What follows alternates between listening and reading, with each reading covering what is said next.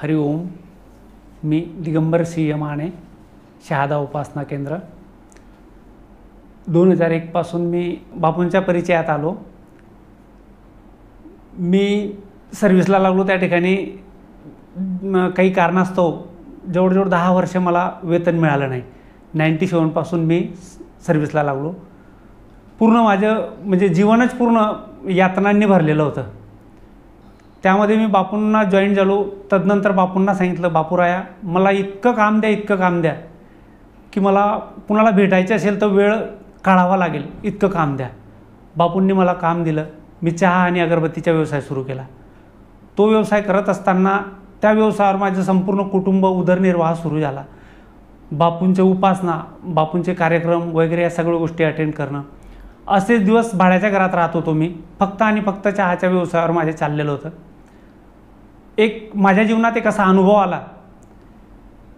तर आमच्याकडे जवळजवळ सात आठ वर्ष भाड्याच्या घरात राहून झाल्यानंतर घरची मंडळी सांगायला लागले की आपण आपलं छोटंसं घर बांधू. माझ्याकडे फक्त दीड लाख रुपये होते. तिला म्हटलं दीड लाखात आपण कसं शक्य आहे घर बांधणं? ती म्हटली बापू आहे बघून घेतील. आणि त्यावेळेला सच्चिदानंद उत्सव होता. बापू आमच्याकडे आलेले होते. मी भाड्याच्या घरात राहत होतो. ज्या घरात मी राहत होतो त्या घराचं मेन दरवाजा जो होता तो पश्चिमेकडे उघडत होता. आणि समोरच एक रूम होती. आणि त्या रूममध्ये आम्ही बापूंची मांडणी केलेली होती. आपलं सच्चिदानंदोत्सवची मांडणी जी असते ती आम्ही केलेली होती.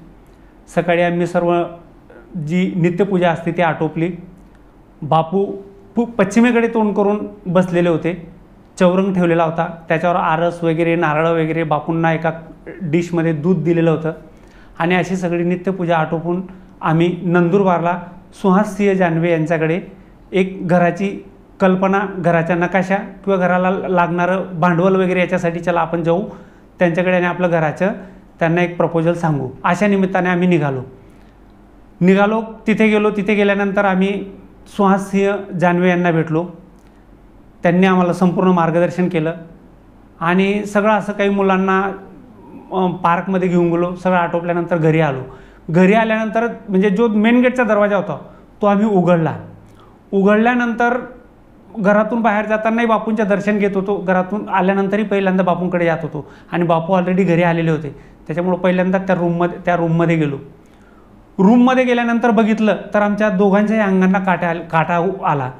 की बापू पूर्णतः बापूंचे जे चरण होते पादुका होत्या त्या नव्वद अंशामध्ये फिरलेल्या होत्या. हे पाहिल्यानंतर दोघांच्या अगदी शहार दोघांच्या अंगाला शहारे आले. आम्ही एकमेकांना सांगायला लागलो की हे कसं शक्य आहे? कारण दुधाचा कप नारळ कळश हे सगळं असताना कुठली मांजर वगैरे पण येऊ शकत नाही. आम्ही दोघांनी विचार केला काय करावं? कुणाला सांगावं की नको सांगावं? मग आम्ही काही बापू भक्तांच्यावर चर्चा केली. ते म्हटले की नाही असा अनुभव तुम्हाला आलेला आहे तुम्ही तुमचा अनुभव लिहून कागदावर लिहून मुंबईला पाठवा. तुमचे जर खरं असेल आपलं मासिक कृपा सिंधूमध्ये तुमच्या अनुभव येईल. मग आम्ही तो जसा अनुभव आम्हाला आला तशा पद्धतीने तो जे नोंद करून आम्ही मुंबईला पाठवला. पाठवल्यानंतर विदिन आठ दिवसात तो कृपा सिंधीमधून कृपा सिंधू आपल्या मासिकातनं छापून आला. छापून आल्यानंतर आम्हाला खूप आनंद झाला. त्यावेळेला बापूंना एक सांगितलं की बापूराया तुम्ही आलेत. हे घर बांधून घेण्याची जबाबदारी तुमची आहे. वर्षभरामध्ये फक्त दीड लाख होते. एस बी आयला प्रकरण टाकलं. म्हणजे प्रत्येक ठिकाणी बापूंनी इतकी काळजी घेतली की अगदी स्वतःचे पालकत्व सांभाळून त्यांनी आम्हाला कशा पद्धतीने करून दिलं. की एस बी आयमध्ये माझ्या प्रकरणं सँक्शन होत नव्हतं. त्यांनी सांगून दिलं सहा महिने इथे कुठल्याही प्रकाराचे प्रकरण मंजूर केलं जाणार नाही. तर आपले एक बापू भक्त धुळे धुळ्या ब्रँचला होते एस बी आयच्या. त्यांचा फोन आला की तुम्ही प्रकरण ताबडतोब माझ्याकडे पाठव शाखा मॅनेजरला शहादा शाखा मॅनेजरला तिथून धुळे शाखेला ते आमच्या प्रकरण गेलं. जे मला खाजगी बँकवाले फक्त चार ते पाच लाख देऊ करणार होते त्यांनी विचारलं तुम्हाला किती पैसे हवेत? मी सात लाख सांगितले त्यांनी मला सात लाख मंजूर करून दिले. हे स- सगळं एका एका वर्षात बापूंनी जिथं माझी कुवत नसताना अगदी दीड लाख हातात असताना संपूर्ण एक वर्षात आणि बापूंना तेव्हा सांगितलं की बापूराया तुझ्या आगमन आता आपल्या आमच्या नव्या घरात होऊ दे. एका वर्षभरात निर्विघ्न प्रत्येक वेळेला बापू उभं राहून पैशाची पूर्णता करून दीड लाख जवळ असताना संपूर्ण घराला वीस लाख रुपये लागले. कुठेही अडचण न येता सुखरूप घर माझे पूर्ण झालं. आणि विशेष म्हणजे ज्या वेळेला माझे घर पूर्ण झालं त्यावेळेला बरोबर सच्चिदानंद उत्सव परत आलेले होते. आणि बापू माझ्या नव्या घरात आगमन झालं. बापूंच्या आम्ही तिथं नव्या घरात सच्चिदानंद उत्सव साजरा केला. बापूंना बोलवलं आणि त्या ठिकाणी आम्ही आमच्या मग वास्तुशांती वगैरे करून घरात प्रवेश केला. इथपर्यंतच नाही तर हे संपल्यानंतर आम्ही मुंबईला गेलो. त्यावेळेला आपला उत्सव होता मुंबईला.